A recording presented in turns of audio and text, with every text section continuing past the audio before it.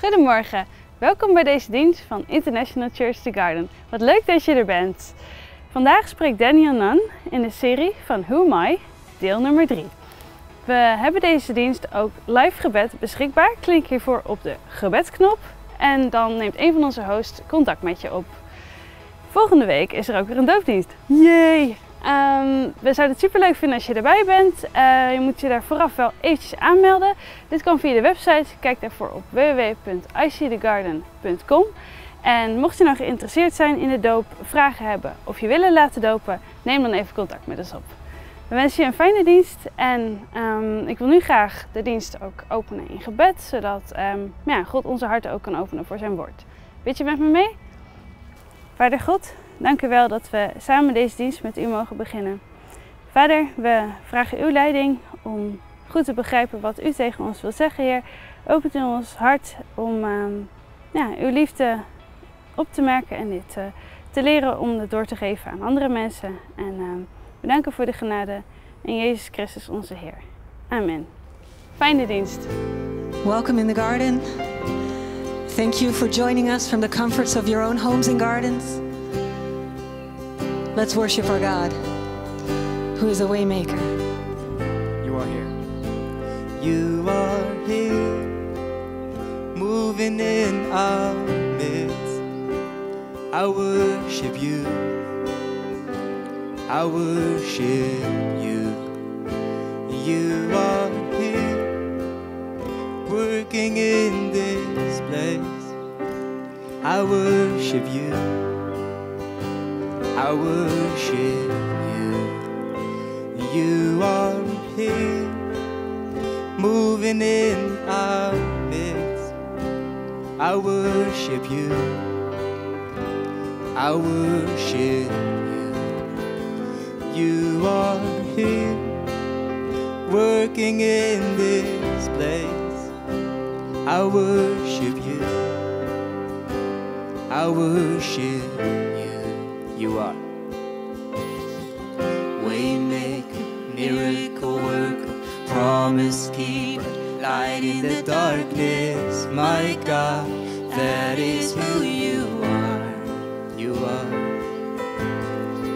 Waymaker, miracle worker, promise keeper, light in the darkness.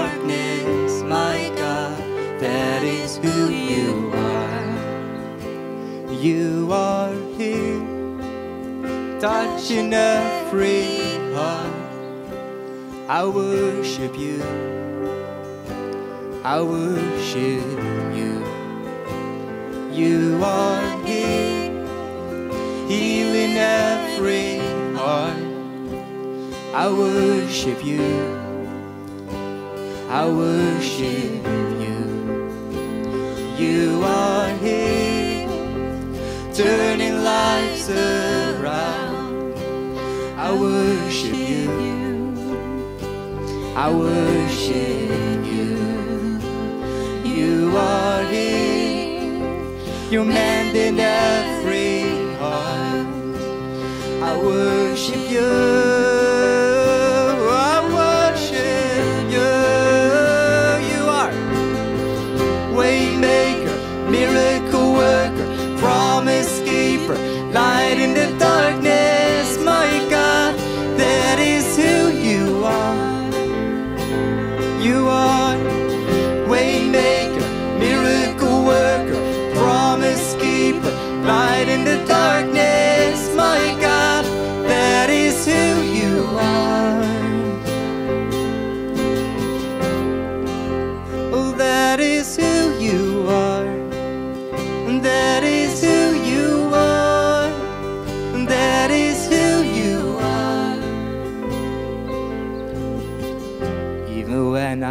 See it, you're working. Even when I don't feel it, you're working. You never stop, you never stop working. Even when. Even when I don't see it, you're working. Even when I don't feel it, you're working. You never stop, you never stop working. You never stop. Even when I stop working. Even when even when I could feel it, you working. You never stop, you never stop working. You never stop, you never stop working. Even when I could see it, you working. Even when I could feel it, you working. You never stop, you never stop working.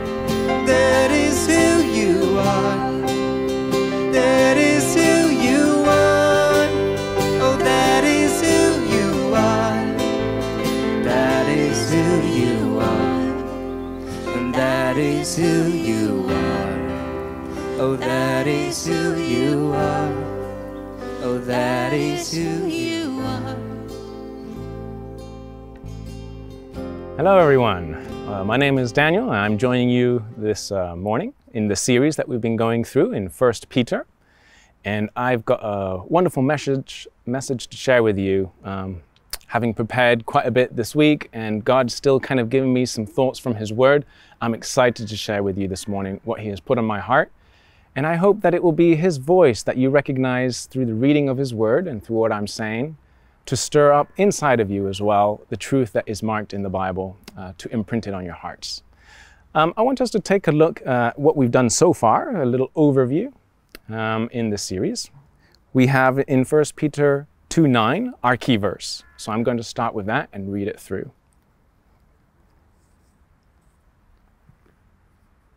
But you are a chosen people, a royal priesthood, a holy nation a people belonging to God, that you may declare the praises of Him who called you out of darkness into His wonderful light.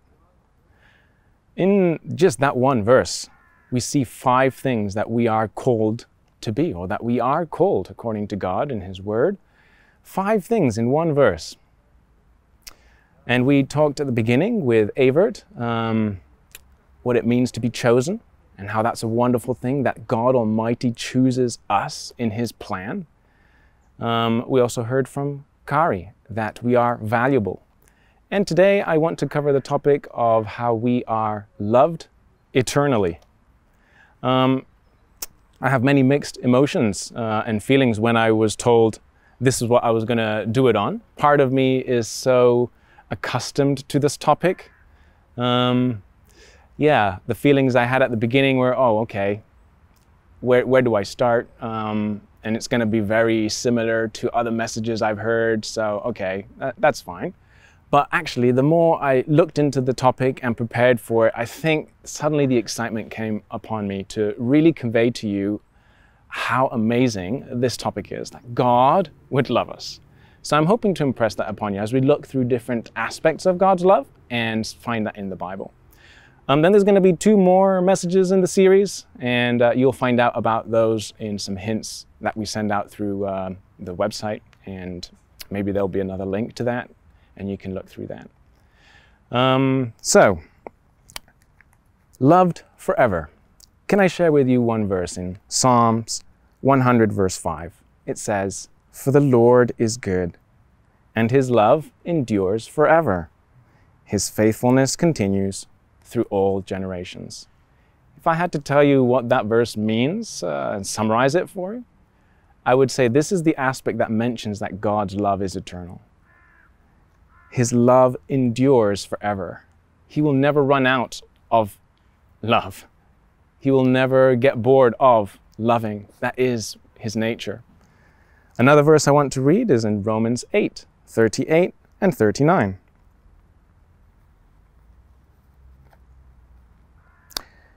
For I am convinced that neither death nor life, neither angels nor demons, neither the present nor the future, nor any powers, neither height nor depth, nor anything else in all creation will be able to separate us from the love of God that is in Christ Jesus our Lord. If I had to summarize that, I would say that there is no obstacle in God's mind that would prevent him from loving those he has chosen. We might throw obstacles at God and say, "Well, no, I'm I'm just a wicked person. You don't know what I have done." But doesn't he? He he's created us. He knows everything about us. What obstacle is there for God? Is there an external circumstance or force that could block his love for us? We see here everything from the visible to the invisible. Nothing can get in the way of that love God has for us. And lastly, another verse. I think it's so important that you hear these things from God's word. It's not just me making up a very nice philosophy, but they come from his scriptures that he wants to have in your heart. So 1 John 4 8, it's short, it's in the New Testament, and it says, Whoever does not love does not know God, because God is love. Doesn't that just blow your mind? Maybe that just goes over too quickly. It's not saying that God loves, but that He is love. The more we know God, the more we understand His definition of the word and the verb to love. Well, what's tricky about the word love in our world as we use it today is that it's overused, I find, especially in English, but also in Spanish. I don't know so much in the Dutch, I'm still learning it. Is it true that in Dutch you could say the word I love you to mean I would do anything for you? That's quite incredible. And would you use it to say I love pizza? Well, you wouldn't do anything for pizza, you just mean that you like pizza. So we use the word love for so many things in casual and in our deepest, strongest promises to other people. Like when people are getting married, they will say these vows of love to another person. Uh, so it can be a bit confusing. Do you wonder that as well sometimes? If when someone said they loved you, they meant it in one way or another? How does God mean it when He says it to us? That's where we have to look carefully um, at what Scripture says to understand. Well, I want to give you kind of an overview of how God has shown love in the past to our present and maybe how that ties in with the future. How does He show love? How is His love forever? Our eternal God has no needs. I mean, He created everything from nothing. He existed always, and He will always exist. How can you dethrone an all powerful, invisible God? And yet, He created us. At some point in time, it came into His idea let's make man. And He's made us with an incredible gift this gift of free will to choose whether we really want to follow Him and serve Him with love, or we're going to do what He says just because he's forcing us to, or we reject him and uh, we turn our way and our backs to him and we go and do whatever we want to do during this lifetime, anyways. Our all knowing God knew that we would turn our backs on him, started with Adam and Eve. But you know what? Don't put the blame just on them. Examine your own life. Haven't you found that you also turn your back on God? It's not like suddenly you find yourself sinning and you're like, oh, how did I get to this point here?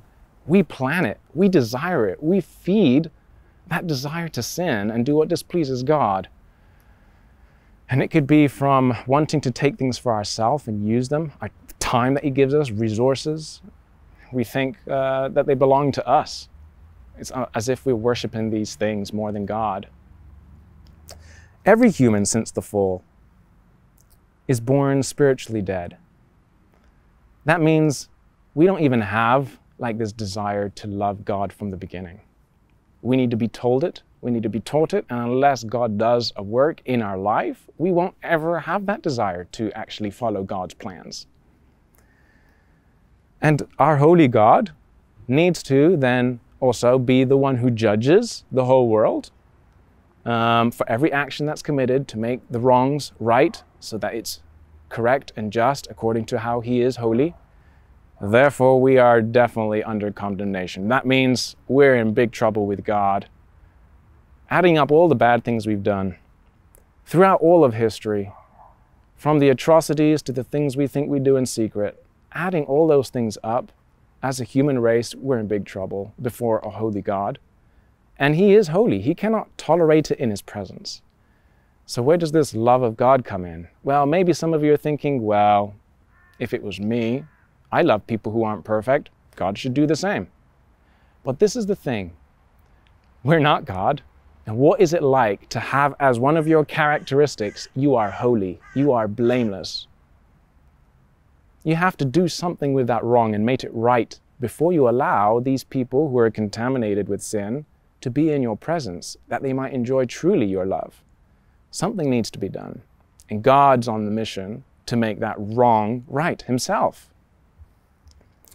Our all powerful God is deeply hurt when we do our own things.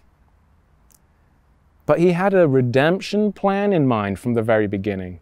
When Adam and Eve sinned, an animal had to be killed that their skins could cover their bodies, but he had to send them out of the garden. And with part of those curses, he also mentions this ray of hope for mankind that there's going to be a serpent that's going to bite the heel of man, but that this man, we're going to find about find out that this is Jesus, is going to crush the serpent and defeat this curse of death, of sin, of punishment for all time. When is that promise going to come?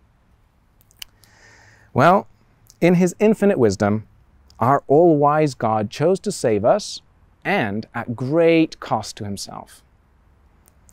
The promised Messiah finally came in the form of Jesus, having met all of God's holy requirements for what life should be like on this earth in a way that honors and pleases Him. He did what none of us could ever do. He lived and died according to God's purposes. Our sin is now paid for through what Jesus did.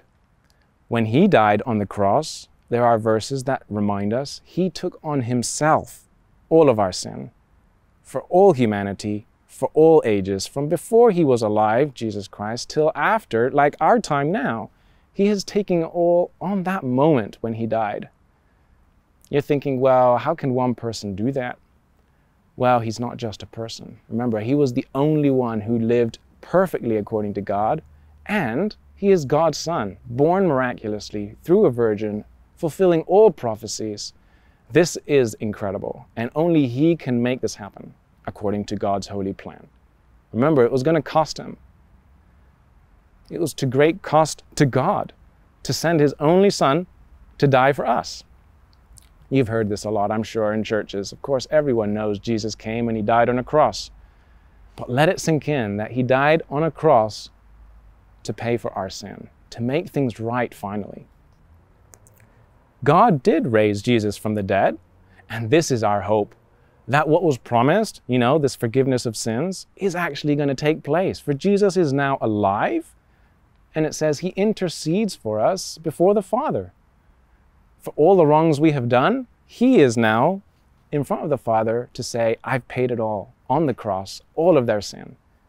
My righteous life is their righteous life now, and I will take all of the wrong and have paid for it through dying on the cross.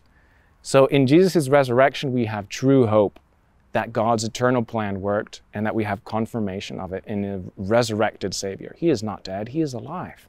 He is spirit now, He's with the Father. But it says so in the Bible, and we take the Bible very seriously for every promise that is there. The Holy Spirit is also a part in our life now, and He also shows how God loves us by sealing us. It says so in His Word so that nothing can undo what God has done in our life. We are sealed, we are safe, we are marked for God. And He also reminds us of things that are in God's Word, the things that we have heard that should bear fruit in our life. He will remind us of these things. Um, and He also brings to us comfort and helps us to know the right from the wrong. Again, most likely through God's Word, but sometimes He will just redirect you. Once we are saved, God gives us new desires. This is the only way we can really do what pleases God. We can do things that please God, but not have the desire, and in God's mind, that doesn't count. He wants us to live in a way that honors Him and pleases Him. And that is when He's changed us from the inside out, that we might have the capacity to love Him the way He wants us to. Our lives should be a testimony of God's grace. I am a testimony of God's grace. You might be a testimony of God's grace if He has saved you from all the wrong you've ever done. God receives glory in this way, not in that we've done anything impressive through our own works, but we're relying on His work. That's what gives Him glory. That's what gives Him honor. We say it's because He's done it. He has saved me. He deserves all the credit. I didn't do anything to contribute to my salvation. I just believe that He has done it. Now He's changed my desires and I walk in a way that pleases Him, or try to every day. So it's important to realize that God's Spirit that does the convincing in people's lives, it is not our clever words. Or we rob God from the power of His saving because we start to boast about it ourselves and we have nothing to boast about. This life is our only chance to receive God's gift of salvation and receive Him as Lord of our life. Those who reject God's costly gift of salvation, they despise His love. They want to do things their own way and say, this should be good enough to get to heaven. They stand condemned in their own unrighteousness and in their own thinking when God has made it plain and He has gone to that extent to show how we can be saved. If any of these things sound fantastic or unbelievable to you, and you want to know where is that really in the Bible, then please get in with your Connect groups, who will have some resources that I've prepared showing where I've got all these things from God's Bible. And you can read them, you can discuss them together, and I hope that will really open your eyes to all of these claims and the thread that flows through with God's story. I want to finish then just by comparing two types of love God's love and the best we can do as a human race to show love and experience love. Maybe this is what's going to make you realize how incredibly different God's love is. Let's talk about the duration. I'm alive now and I was born a few years ago. My whole life will maybe be 80 years or more. And that's it. The time that I experience love, and was it every day even, is limited. But God is eternal and He can love from everlasting to everlasting, it says. He shows faithfulness to generation after generation. Well, that sure beats the love I can experience in my own lifetime. And uh, are we loved from the very beginning of the duration? From the moment we are conceived, maybe our parents loved what we looked like or who we might become, that we were precious to them, we belonged to them. But in God's mind, before we were even conceived, He had a plan for us. It says in Psalm 139 how He knit us together, He knew everything about us before our first day about the obstacles of getting in the way of this wonderful love. In human terms, those who love us hurt us. Sometimes they do, even without wanting to. Maybe they misunderstood something about us, and that hurts us. But God knows everything about us. God is good, and He bears with all of our pain. Those who love us can't know us fully if I were to talk and talk and talk about what I am like, they would have a better idea, but they still wouldn't know all about me. But God does. He knows your inmost thoughts before a word is coming out of your mouth, He knows it. If someone knew us fully, they might not love us anymore. Every detail about you, are they going to love that? Somehow God is able to know everything about us as the human race, and He is crazy about showing that love for us to the point that He sent Jesus, His Son, to the point that He gives us new chances every day while we're alive to start fresh and ask His forgiveness. Those who love us can't save us. We're just humans. What can we save people from? Well, we can give them a meal, but can you save them from fear? Can you save them from death? Even the wealthiest person can't afford someone else's life for them and grant them that. but God can. He is all powerful. And because He is all powerful and He's all loving, that's an incredible combination together. Surely that love stands on a higher degree than we could ever offer. The more unworthy we feel, the more we feel rejection. Uh, we fear rejection. That's another limitation or an obstacle that will get in our way. And that's so true with humans. But with God, there are no surprises. The more unworthy we feel when we are saved, He gets greater glory for it. How bad of a sinner were we when God saved us? Paul was one of those people who says, I'm the worst of sinners. I persecuted Christians. I did things that were horrible to the church. And then he is a testimony now of the grace and power of God at work in a person's life. Think of that if you ever feel, I'm probably the worst. No, God can work with the worst of people to bring an incredible salvation story. So don't despair. The extent of our love, uh, on human terms, we can love maybe a few people. Maybe you can love everyone on your Facebook group. That's quite a few. Or on your, maybe Facebook is old. Let's go with some Snapchat or let's go with uh, WhatsApp. If you were to say to everyone on your WhatsApp list, I love you with all that I am, that would be a huge claim. But God has said that about all of us. God's love extends for the whole world. Who is going to accept that offer? We can't even love one person well.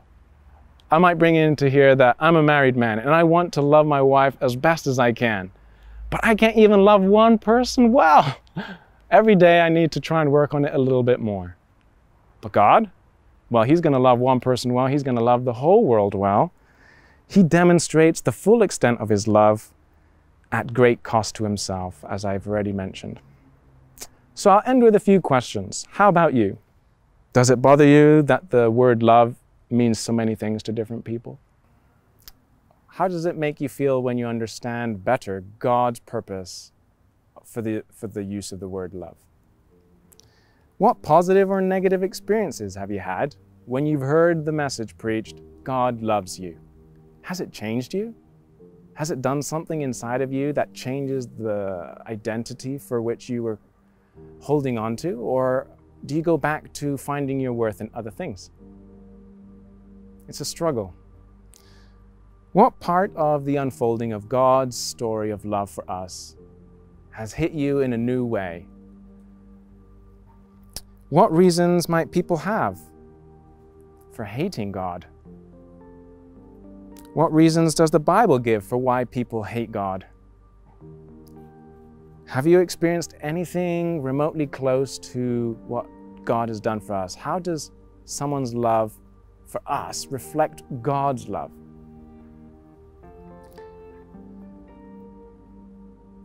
What if you don't feel loved by God? What if your life is really hard right now? What are some things to help you remember your identity in Christ? Do you feel discouraged with your inability to love others perfectly? What might help? I want to leave you with those questions, and I hope this Sunday has been a real refresher for you if you're familiar with God's love, just to know the depth of His love better. And if it's still something you're wrestling with and you struggle because you're trying to improve yourself to make yourself more worthy, even to accept your own self or for others to accept you, where, where do you get that assurance and peace that you are loved, that you're accepted, that God is giving you chances? Thank you very much. Let the King of my heart be the mountain where I run, fountain I drink from. Oh, He is my song. Let the King of my heart be the shadow where I hide, the ransom for my life. Oh, He is my song. Cause you are good, you're good. Oh, you are you're good. Oh, yes, you are good, you're good. Oh, you are good. you're good. Oh, let the King of my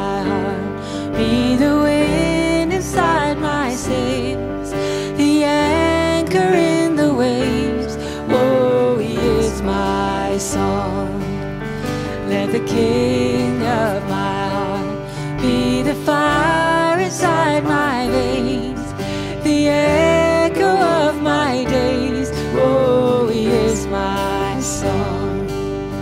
Let the King of my heart be the wind inside my sails, the anchor in the waves. Oh, he is my song. Let the King the fire inside my veins, the echo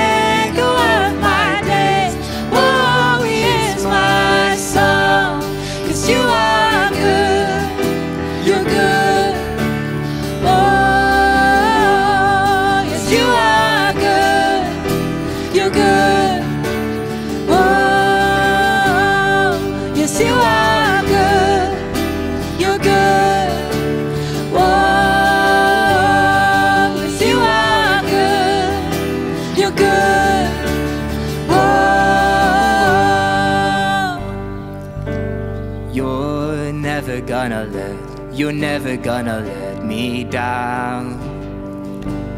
You're never gonna let, you're never gonna let me down. Let's sing it out. You're never gonna let, you're never gonna let me down. You're never gonna let, you're never gonna let me down.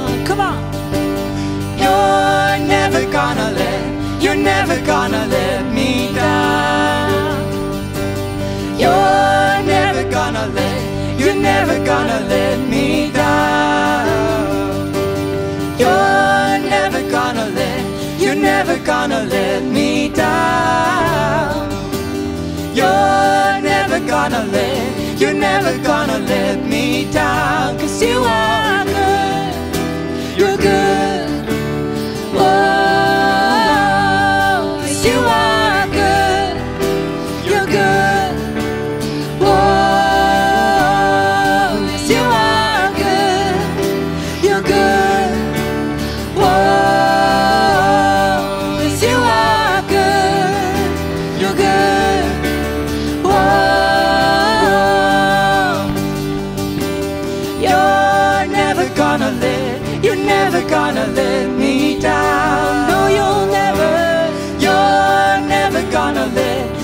Never gonna let me down. Cause you are good. You're never gonna let, you're never gonna let me down. You're never gonna let, you're never gonna let me down. Cause you are good. You're good. Whoa. Yes, you are good. You're good.